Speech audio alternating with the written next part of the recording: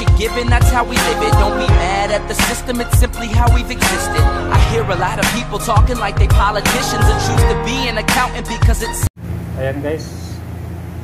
May gagawin na naman ako ngayon guys ng mga food tree guys. Ayan o, parang lagayan siya ng halaman pero ah, food tree yan guys. Yan ginagamit sa mga pag-serve. Yung mga pininturahan ko dati ng mga food tree, iba naman yun. Mga ano lang siya, yung malapad lang siya na parang ordinary lang na ano. Food tray pero ito maganda ito. Para mga basket siya. Ayan o bakal yan guys. Bakal yan eh. ayan na uh, pipinturahan ko siya ng gold guys gold. Gagamitin ko na pintura guys sa ano uh, gold powder ihahalo siya guys sa sanding sealer ayan. Papakita ko sa inyo guys.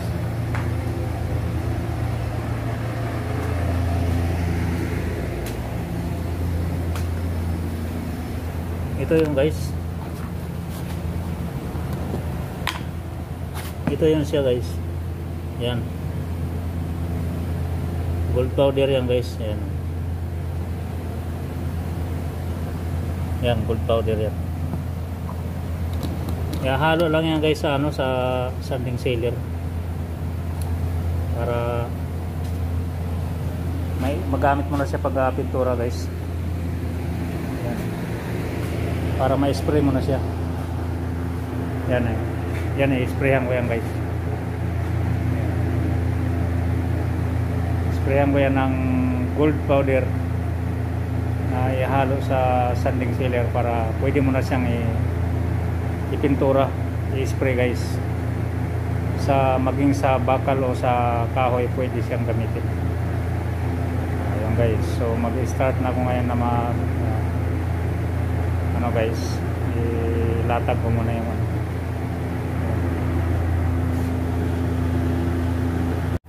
Guys. Ito na yung gold guys ngayon imimix ko na siya dito sa ano, sanding sailor ito yung sanding sailor guys. Ayan sinalin ko na siya dito sa galon. Uh, para tamang-tamang pang spray lang doon sa ano guys mga food tray. Ayan, lalagyan ko na siya ngayon ng food powder guys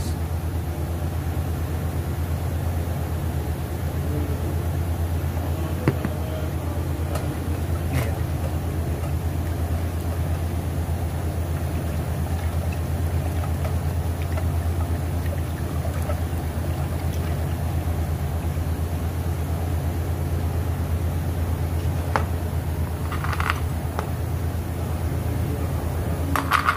kunti pa guys ayan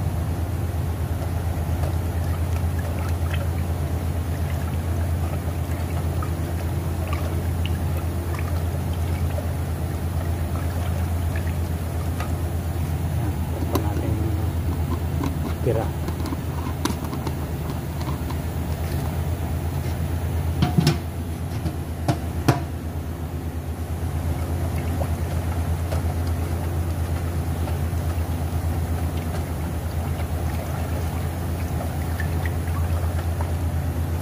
Ayan, lagyan natin yan sa spray gun guys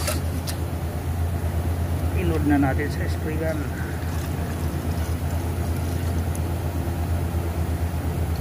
iya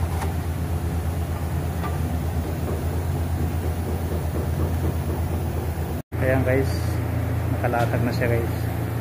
So binaliktad ko muna siya guys para maunang pinturahan yung sa ilalim guys.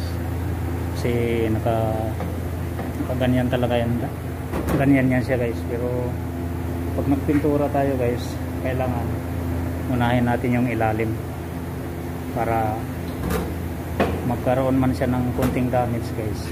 At least nasa ilalim siya. So kailangan unahin natin yung mga sa ilalim. Panghuli na yung pinaka mukha niya guys. Ayan. So ngayon mag start na ako guys. I-spray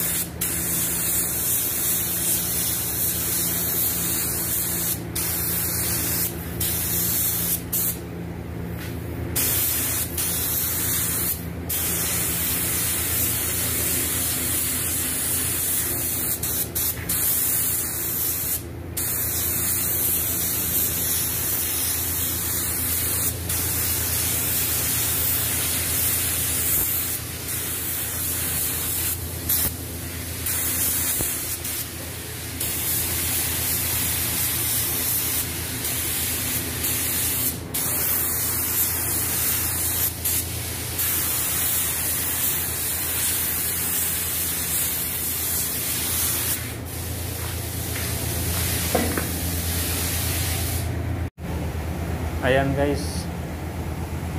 Tapos nang pinturahan yung ah, ilalim. So ngayon uh, kailangan patuyin muna natin siya ng ah, mabuti. Bago siya balik rin guys para hindi ma masira yung pintura.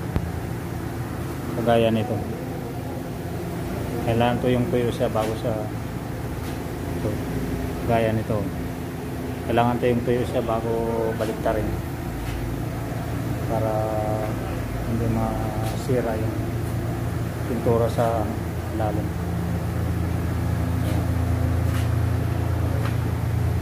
Mamaya balik ka rin ko siya mamaya guys. Para yung ibabaw naman ng pintura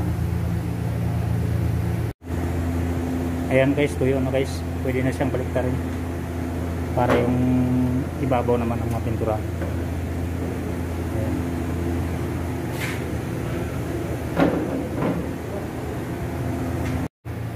Ayan, guys Parang pinturahan yung ano mukha guys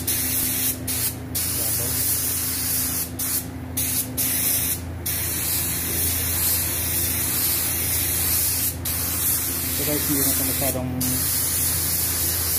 nagagandahan guys kasi ano lang ito ah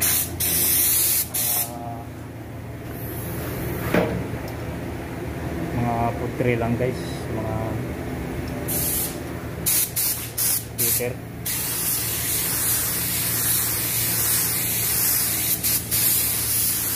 Importante lang mapinturahan ko guys.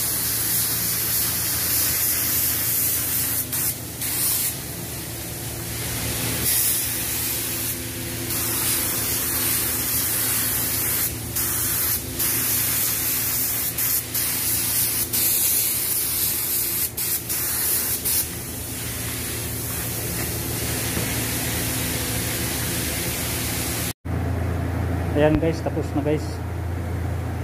Ayan. So patutuyo na lang siya bago siya uh, ligpitin. Bukas i-deliver na ito, kukunin ito ng may-ari. So, ayan guys. Hindi siya, hindi naman siya uh, makinis kasi sabi ng may-ari huwag nang pakinisin, huwag nang lihain basta matimpurahan lang hindi na siya masyadong pagandahin guys kaya ganyan lang siya tutusin eh, hindi siya makinis talaga lihain siya. Ayan pag ikinisin niya talagang mamasilyan mo pa yan. Tapos lilihain mo. Pero sabi ng may-ari huwag nang lihain. Huwag nang pagandahin basta mapinturahan lang ng gold. Ayan. So ayan guys ah, tandaan nyo lang guys yung mga tinuturo ko sa inyo guys. Palagi guys kung bago pa lang kayo sa aking channel ah, ah, huwag nyo kalimutan mag subscribe mag like pindutin nyo rin po ang ah, notification bell para update kayo sa mga video na gagawin ko guys. Ayan. Uh, mag comment lang kayo guys kung meron kayong mga katanungan. Ayan para masagot natin kung ano mga mga katanungan nyo guys so ayan guys. Thank you very much for watching. Sa muli guys. Tabayanan palagi ang ating paint tutorial. Bye bye